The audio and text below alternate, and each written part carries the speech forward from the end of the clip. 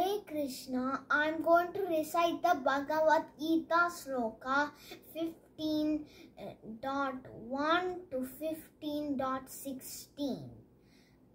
श्रीभगवानुवाच ऊर्ध्वमूलमतः शाकम् अश्वत्थं प्राहुरव्ययं छन्दांसि यस्य पर्णानि यस्तं वेद स वेदवित् अधश्चोर्ध्वं प्रसृतास्तस्य शाखा गुणप्रवृत्ता विषयप्रवालाः अधश्च मूलान्यनुसन्ततानि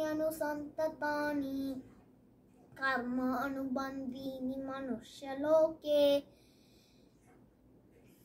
न रूपमस्येह ततोपलभ्यते नान्तो न चादिर्न च सम्प्रतिष्ठा अश्वत्थमेनं सुविरूढमूलम् असङ्गशस्त्रेण दृढेन चित्वा ततः पदं तत्परिमार्गितव्यं यस्मिन् गता न निवर्तन्ति भूयः तमेव चाद्यं पुरुषं यतः प्रवृत्ति प्रसृता पुराणी निर्माण मोहाजित निर्माणमोहाजितसङ्गदोषा अध्यात्मनित्या विनिवृत्तकामा द्वन्द्वैर्विमुक्ता सुखदुःखसज्ञैर्गच्छन्ति अमूढा पदमव्ययं तत् न तद्भासयते सूर्यो न शशाङ्को न पावकः यद्गत्वा न निवर्तन्ते तद्धाम परमं मम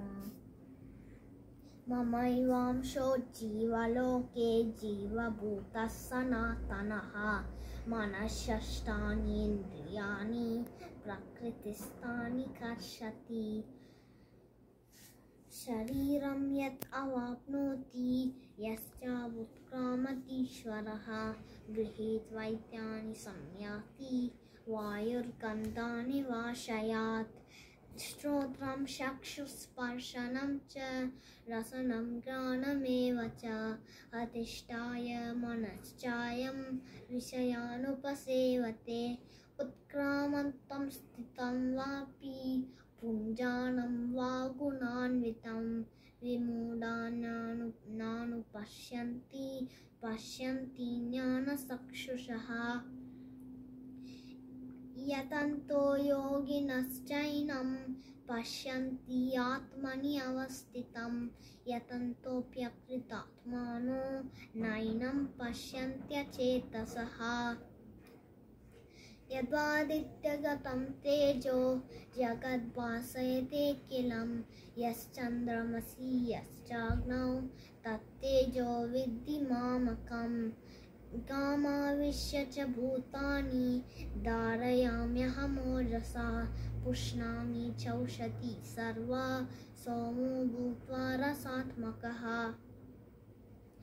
अहं वैश्वानरो भूत्वा प्राणिनां देहमाश्रितः प्राणापानसमायुक्ता पचाम्यन्नं चतुर्विधम् सर्वस्य चाहं हृदि सन्निविष्टो मत्तस्मृतिर्ज्ञानपोहनं च वेदैश्च सर्वैरहमेव वेद्यो। वेदान्तकृद्वेदवित्तेव चाहम्। द्वाविमौ पुरुषौ लोके सरक्षाक्षर एव च। सरक्षरो सरक्षर्वाणि भूतानि कूटस्थोक्षर उच्यते। हरे कृष्ण।